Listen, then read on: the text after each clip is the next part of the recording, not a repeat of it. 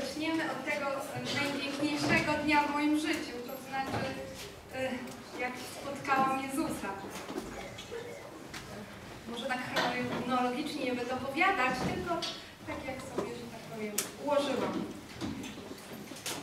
To znaczy Jezusa e, poznałam, spotkałam, doświadczyłam e, wtedy wielkiej radości.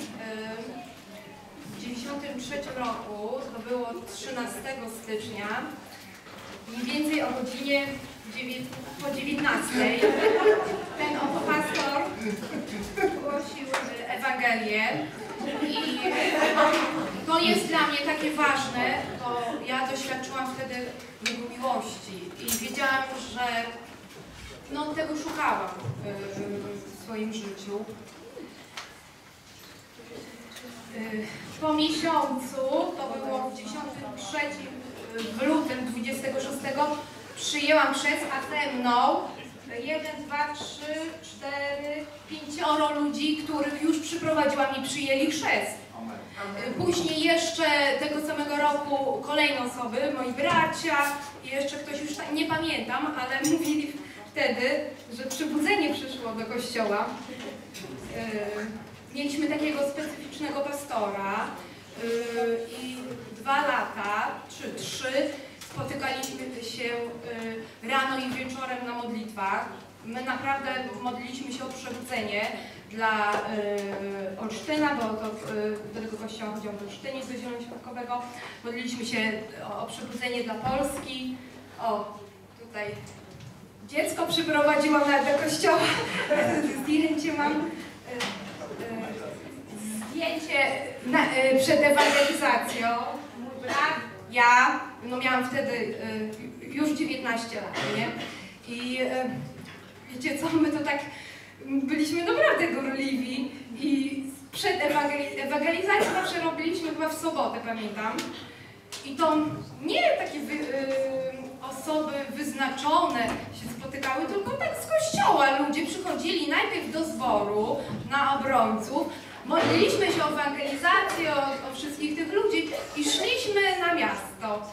I tam y, właśnie uwielbialiśmy Boga, graliśmy na gitarach, składaliśmy normalnie tak przez mikrofon świadectwa. Yy, No i to takie było dla nas naturalne. My się w ogóle nie wstydziliśmy. Yy, Nie mieliśmy czegoś takiego, że, że o, mam strach przed y, człowiekiem. Nawet pamiętam, yy, były takie sytuacje, że moje koleżanki mnie spotykały z liceum i, i, yy, i mówiłam swobodnie o Jezusie. Niektóre myślały, że zwariowałam. Yy, No i tak sobie spędzaliśmy czas w tym kościele naszym. Yy, tutaj o, widać jakieś spotkania mamy. Yy, Agata i było, było bardzo fajnie, tak do 96 roku. O, tutaj widać rozpromieniona pośród kwiatków, dobrze się miałam. Nawet przyjeżdżali do nas różni usługujący z zewnątrz, yy, z Finlandii, z Holandii, yy, z, mm, ze Stanów Zjednoczonych. Jeden pastor yy, na pewnym nabożeństwie yy, zobaczył mnie i powiedział, żebym wstała, to wstałam i on mówi, że jak przyszłaś do zboru, to widziałem chwałę Bożą nad Twoim życiem, że Bóg będzie Cię uwalniał yy, z poczucia niższości, wartości, braku znaczenia, z wszelkich ograniczeń, z wszelkich lęków yy, i yy, no, ja przyznam się, że ta chwała była na moim życiu, bo ja się cały czas modliłam. Ja cały czas uwielbiałam Boga e, każdego dnia. E, no, była taka we mnie gorliwość, teraz nie ma takiej, żeby z samego rana tak wstać, czy nawet w nocy się budzić i e, no tak mówię prawdę, prawda? A może w przyszłości wrócę do tego.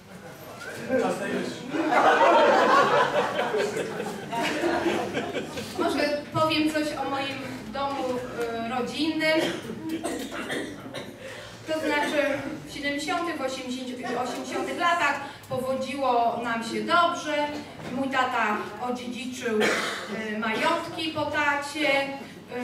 Nawet miał tam tytuł hrabiowski, sygnety hrabiowskie, zatrudniał pracowników, miał posiadłość. Był e, po prostu najzamożniejszy z całej rodziny i tak pomagał też innym wybudować się, w, na przykład koledze pom- pomógł e, w, Niemczech i tak dalej, i tak dalej. E, I mm, ja mam takie wspomnienia, że mi nic nie brakowało. Mama to specjalnie kupowała też takie różne materiały, szyła nam różne e, stroje, takie ubrania i, no i tak wpoiła we mnie takie poczucia do tego, żeby dobrze wyglądać, żeby po prostu e, mieć coś e, takiego ładnego na sobie, takie poczucie po prostu piękna, prawda? E, bo mama miała zdol ma zdolności plastyczne i, i, i, i po prostu tak mnie w tym, że tak powiem, ukierunkowała. Tata zaś ukierunkował mnie w kierunku muzycznym, bo w wojsku grał na trąbce i wysłał mnie do szkoły muzycznej. Yy, chodziłam do szkoły muzycznej, trochę na tańce, bo rodzina mojego taty to yy, no, gwiazdy, gwiazdy, same gwiazdy. To znaczy w telewizji te gwiazdy występują i yy, taty brat to mistrz świata w tańcu i on to znaczy nie przyjaźnił się, tylko dobrej komitywie z to taką ym, prezenterką z tańca z gwiazdami. No i ja w takiej rodzinie się wychowywałam, że y, y, trzeba po prostu się uczyć, trzeba po prostu coś osiągnąć. No jak tata chciał, żebym była gwiazdą, ale nie wyszło, nie? No nie wyszło dlatego, że po prostu urodziłam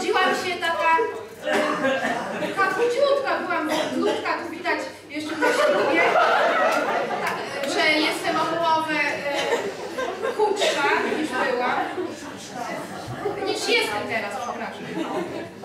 No, to jest... No nie będę taka religijna normalnie, tak jak czułam, żeby przygotować się, to się przygotowałam. Jak do e, sprawdzianu, nie? Ym, To znaczy, no bo to jest taka część mojej natury, że ja zawsze byłam pilna, dobrze się uczyłam, tam rodzice nie musieli mnie sprawdzać, bo wiedzieli, że sobie dobrze radzę. Poza szkołą to jeszcze chodziłam i na tańce, i do klasy sportowej, i do szkoły muzycznej. Nauczyłam się grać w czwartej klasie na gitarze, na pianinie.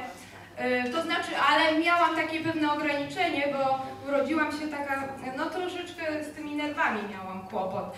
Y, To znaczy, czytałam s- takie, mam papiery, że jak miałam półtora roczku, to leżałam na porażenie nerwowe w szpitalu. To tata nie chciał po prostu tego, że tak o tym rozmawiać, bo on mnie traktował, że ja jestem zdrowa, mam być zdrowa, i mam o tym zapomnieć. No i czasami udało mi się, że tak powiem, zemdleć, stracić przytomność.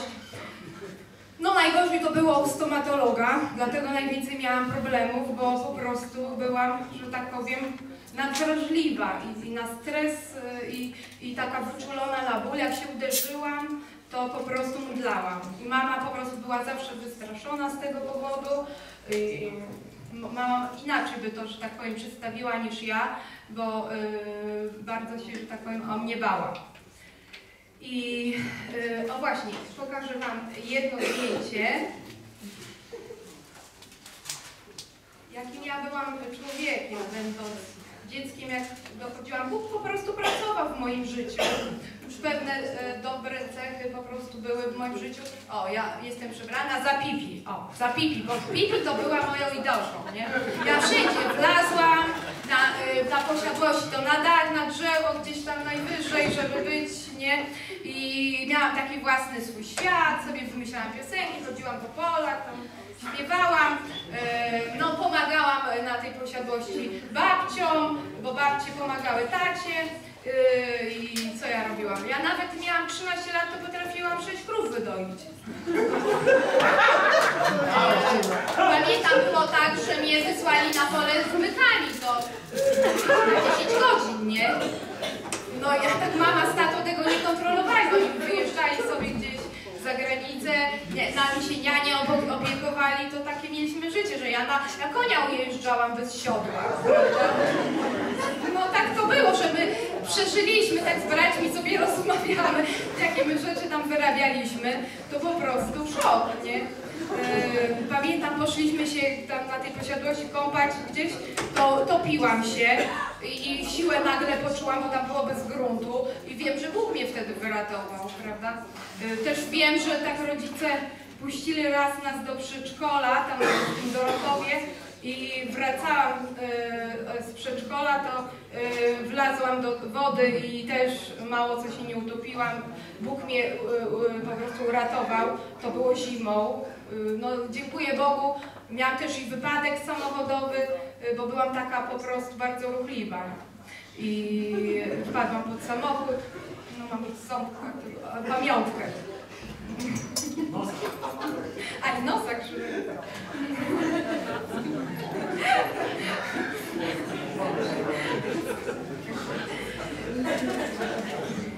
Wspomniałam już, y, że y, żyły z nami babcie, to znaczy one były bardzo ważne w moim życiu, muszę to powiedzieć. I, y, czyli moja babcia i jej siostra. I jej siostra to bardzo po prostu mnie kochała. I no zawsze mi po prostu tłumaczyła, że mam się uczyć, kontaktowała mnie y, ze swoją rodziną, y, bo tam to, to by, by, były osoby z wyższej sfery, teraz y, te osoby są w Australii, w Kanadzie, mają swoje majątki i tak dalej. I ta babcia po prostu mnie, że tak powiem, wychowywała. I pewnego razu ta babcia zasłabła, przestała mówić, a już miała chyba wtedy 84 lata. I ja miałam y, gdzieś tak y, z 10 lat. Ja zaczęłam wołać wtedy do Boga. Bóg po prostu y, dotknął mnie. Ja wierzę, to Duch Święty mnie dotknął, że zaczęłam o tą babcię wołać do Boga, żeby ona żyła. 84 lata, ja się nie zgodziłam, żeby umarła. Wszyscy myśleli, że już po niej, bo już po prostu na to wszystko wskazywało. No i babcia ożyła. I babcia ożyła, powiem Wam, to cud, to po prostu dla mnie pamiętam y, to zawsze, że Bóg y, uczynił cud i wiecie, babcia żyła do tego czasu, jak się nawróciłam i żyła bez żadnej choroby. Jak miała 91 lat, to jeszcze sprzedawała, pomagała tam tacie sprzedawać, liczyła pieniądze, a ym, przed umarła w dniu swoich urodzin i miesiąc przed powiedziała Agnieszka, że ja chcę już do, iść do nieba, nie? I ja po prostu się modliłam y, z babcią y, i babcia ubrała się na czarno w dniu urodzin i odeszła bez żadnych tam dolegliwości, choroby, po prostu odeszła w fale Pana. Poszła tam do nieba, ale była dla mnie człowiekiem od Boga, który po prostu y, mi pomagał w życiu. Zawsze mogłam liczyć na nią, zawsze miałam kasę. Ym, Dla, dla urki jakieś zrobiłam dla jednej, dla drugiej babci i zawsze była kasa. Yy, źle, dobrze się ustawiłam, źle mi nie było, nie? A ta babcia to nigdy nie podniosła na mnie głosu, zawsze mnie kochała, czasami denerwowało, bo aż sprawiało jej przyjemność i patrzyła jak ja jem, nie? To mówię, babciu, Boże Święty, no ale y, taka była i kocham ją i nie wyobrażałabym jej śmierci akurat byłam nawrócona i Bóg mnie na to przygotował. I, i, i wiecie co, nie płakałam. Jak poszłam do kosnicy, to babcia po prostu odgłodniała dla mnie. Była po prostu całkiem inna. I ja miałam y, w dniu pogrzebu, miałam naprawdę rzeczywistą. Ja nie byłam jeszcze na takim pogrzebie jak u tej babci, żebym y, po prostu miałam y, radość. Miałam w sercu radość, wiedziałam, że ona w odpowiednim czasie, tak jak snop, że tak powiem, zebrany, poszła tam, bo chciała, miała pragnienie i biegu dokonała, pomagała mnie. Doszłam do tego momentu nawrócenia i, on, ona umarła, a ja się po prostu y, wtedy w tym roku y, nawróciłam. Co tam jeszcze mogę powiedzieć? Y,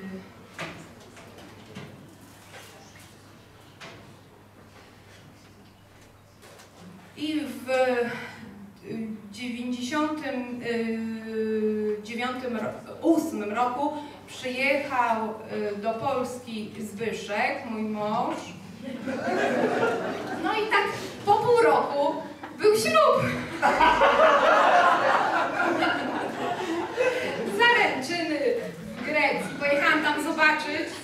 Yy, po, popyta się pastora na temat Zbyszka, śledztwo przeprowadzić, wszystko okej, okay, bo musiałam sobie poukładać. No wiadomo, yy, ja myślałam, że po prostu życie to jest bajka, bo mnie tak wychowali też w domu, że dobrze mi było, nic mi nie brakowało.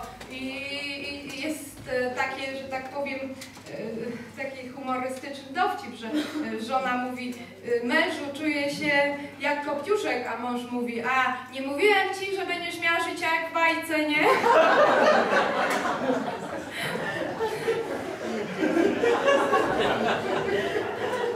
Teraz to wy macie duże poznanie w Łodzi, bo, bo pastor wam tłumaczy o pewnych rzeczach, a my wtedy nic nie wiedzieliśmy. Ja myślałam, że to życie y, ten y, będzie takie, że tak powiem, y, usłane różami, a trzeba było do pracy. No. Jeszcze y, y, wtedy studiowałam, to, to też potem trzeba było się zająć teściowymi, nie? Teścia przyprowadziłam do Jezusa Chrystusa, bo męża to w ogóle nie słuchał, bo znał jego ze starego życia, nie? To byłam oczkiem w głowie teściowej i teścia. Jednak teściowa przyszła do mnie i mówi, jak ty z tym Zbyszkiem wytrzymujesz? Naprawdę tak było.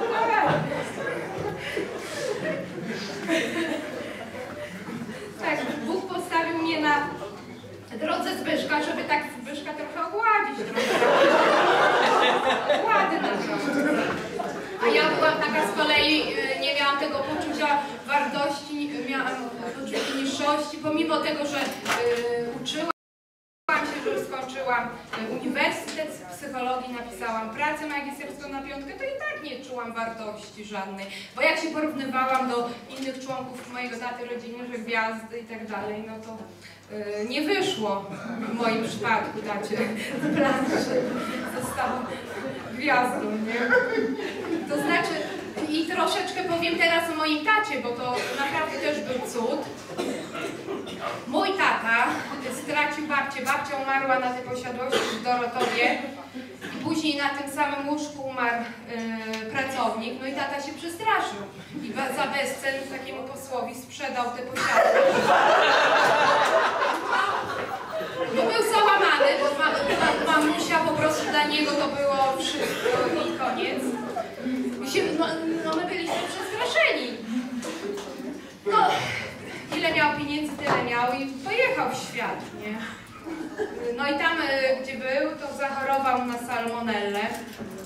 No i ciężko zachorował i przyśnił się jemu Jezus, naprawdę, przyśnił się, bo ja podpytuję, tata, a jak wygląda ten Jezus? No bo w takiej czerwonej szacie i tak majestatycznie schodził po schodach i Jezus jemu tak powiedział, wracaj do dzieci. I tata wstał, został uzdrowiony, dobrze się poczuł i przyjechał właśnie y, do Olsztyna. No i rodzina nie chciała jego przyjąć, bo miał najlepsze naj, y, możliwości, najlepszy start, wszystko po ojcu odziedziczył i, i syn marnotrawny wrócił, nie? Moja mama po prostu wzięła rozwód z tatą. Y, Jest między nimi duża różnica wieku. Mama 66, tata 84. Y, No i no wstyd o tym mówić, ale tata poszedł do schroniska dla bezdomnych, nie? Hrabia do schroniska dla bezdomnych. No i tam akurat chodzili y, ci pastorzy z tego kościoła zielonoświątkowego, w którym się nawróciłam. No i zaprosili tatę, nie? No i tata mi powiedział, to się spotkaliśmy, że gdzieś tam chodzi. A ja myślałam, no, następny jakiś wygłup taty, nie? No i poszłam na to spotkanie. No i na tym pierwszym spotkaniu się nawróciłam, mówiłam już w styczniu. Ale jeszcze powiem wam świadectwo, w tym czasie mój y, starszy brat był na wojnie w Afganistanie, nie? Y, I tata też poprosił o modlitwę o brata. No i po miesiącu brat tata puścili na przepustkę Zbyszka. No, ale taka perspektywa przed nim, tata się o niego bał, żeby jego tam nie zabili. No i tak wyszło, modliliśmy się, że brat skręcił nogę i już jego tam nie przyjęli, nie? No to czyli został yy, w Olsztynie, no i też się yy, nawrócił. Cała moja właśnie rodzina jest nawrócona. Y, Mój tata, tata jako ostatni y, przyjął chrzest wodny. Zrobił to y, w wannie, ja jego uczciłam. To gdzieś dwa lata temu było. Y, Jako miał 82 lata. Najbardziej oporny ze wszystkich, nie? Y, No ale y, tata po prostu jest też wielkim błogosławieństwem, bo nie wspomniałam o tym, że mój tata y, miał pierwszą żonę, ona już nie żyje. I z tego związku y, jest dwoje dzieci i jeden brat już tak przed sześćdziesiątką. I, i ten brat po prostu był umysłowo chory, a ja zawsze się wstawiam o rodzinę, jak tutaj taki nauczyciel wstawiam o rodzinę. I cud się stał po prostu. Y, Ten brat normalnieje. Y, Teraz ma jakąś y, pannę, osobę, że on jest w stanie po prostu funkcjonować w związku z kim to jest cud po prostu. Ja mówię, tata, to, to, to normalnie jest cud. A tata mówi, tak, Jezus się nad nim zlitował. Nie? No, ale to dużo pracy mojego taty, bo tam czasami tata miał naprawdę ciężko, bo on potrafił brać jakieś przedmioty i, i, i po prostu e, na tatę, że tak powiem, nastawał. I ja, ja się obawiałam taty, ja się bardzo modliłam właśnie, żeby o, e, tacie było dobrze, nie? No to wymodliłam, że ten e, brat już po prostu normalnie je. I wymodliłam też, że tata ma opiekę, bo y, codziennie jest zapraszany na obiady do zamożnej rodziny. I też dostał propozycję, tam pusta stoi posiadłość, żeby tam mieszkać, ale on nie chce y, po prostu, bo jemu lepiej jest w mieście. I no żyje jak pan, jak król. Y, Po prostu on był tym narzędziem, które przyczyniło się, że przyszłam do Boga, że y, po prostu on y, przyjął to y, za prawdę, że to Jezus do niego powiedział, że wracaj do dzieci i tym sposobem cała nasza rodzina się nawróciła i bardzo dużo osób i tak je, taty postrzegają, że to, już teraz to tak różnie z przymrużeniem oka, nie? Ale naprawdę ma takie no takie ma zdolności, czy takie obycie, że się zadaje z ludźmi, z profesorami, z y, jakimiś zamożnymi ludźmi y, i, i, i naprawdę y, ma dobre kontakty z ludźmi i właśnie tata mi wpoił to, żeby po prostu nigdy nie krzywdzić nikogo, żeby nie patrzeć na pieniądze, żeby być samodzielnym, żeby zapracować. I, I po prostu to jest to, co tata y, we mnie, że tak powiem, zainwestował. A te złe rzeczy, no to y, wynikały y, z moje, złe rzeczy związane z samopoczuciem, tak, psychofizycznym, y, emocjonalnym, wynikały z takiego mojego, że tak powiem, z urodzenia, że się urodziłam jako słabowita diabeł, po prostu chciał mnie zabić. Powiem, że chciał mnie zabić, ale nie udało się. Y, Bóg po prostu przez Jezusa mnie y, y, uzdrowił. Jestem teraz w procesie właśnie uzdrawiania psychiczno-emocjonalnego. I żałuję tylko jako porażkę moja to jest to, że my, że tu byliśmy wiele lat w takim jednym kościele, bo przyjechaliśmy w 2003, ja byłam w dobrej naprawdę kondycji, a w tym kościele po roku y, upadłam na zdrowiu, bo tam jeszcze przyjechał pewien prorok i mówił, że wampiry wysysają krew, życie Boże. I kto nie jest głuchy, jak mój sług- sługa. I my byliśmy głusi. Trzeba było nam po prostu tam nie, y, nie, y, po prostu nie uczęszczać, nie chodzić, nie angażować się. Bo po prostu to była, uważam, porażka, to było nieposłuszeństwo Bogu, życie w religijnym kościele, bo gdzie Duch Boży odchodzi, tam jest religia, prawda? I y, tam y, upadłam w tym kościele na zdrowiu, a tutaj mnie podnosi. Dziękuję Bogu za ten Kościół mocy, bo y, tutaj Duch Święty działa i no jestem bardzo tutaj szczęśliwa, że Bóg tak odpowiedział wielu na pewno ludzi w tej Polsce, że jest ten kościół tutaj, prawda? E, Powiem Wam, że jeszcze jedno, że tam tata ma kuzyna i on propozycję w Olsztynie złożył, że jakbyśmy przyjechali ze Zbyszkiem tam, może w przyszłości jakąś tam grupę domową założymy, to już interes z nami, że zainwestuje, będzie prezesem. Już są takie propozycje, nie? Y, te- To, to jest e, milioner, ale nas to nie obchodzi z mężem. Po prostu my budujemy Królestwo Boże. My tutaj jesteśmy na ile teraz możemy, bo naprawdę zmęczyliśmy się w tym kościele, w którym byliśmy.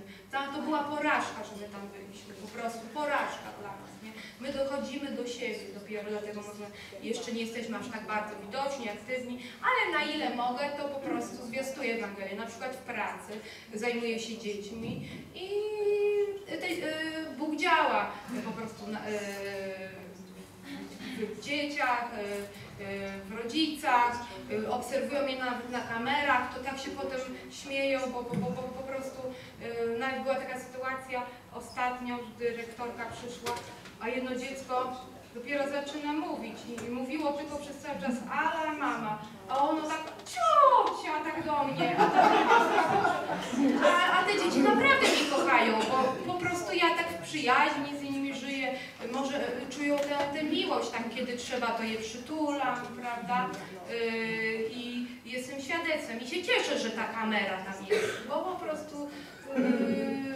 bo widzą owoc chrześcijaństwa, prawda, i to jest po prostu moje głoszenie Ewangelii, takie w życiu. Amen.